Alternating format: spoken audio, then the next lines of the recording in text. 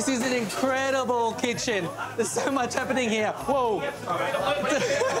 it's a weekday. They do 3,000 people a day here. On the weekends, it's five or 6,000. Let's try to squeeze in. Come on through. Oh, yes.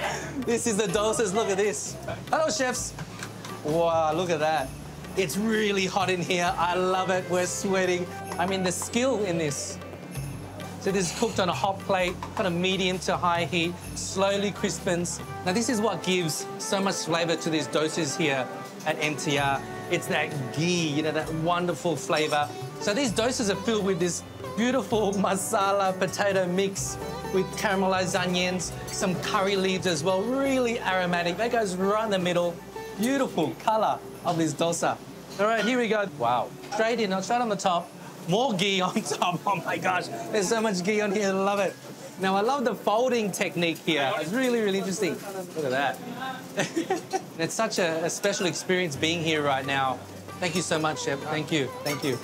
Let's see if we can squeeze through again. Wow, this is rice cake. It's been steamed. How many do you make a day? How many thousand? 5,000 a day. Steamed in here really, really hot. Look how fluffy they are. Oh my goodness.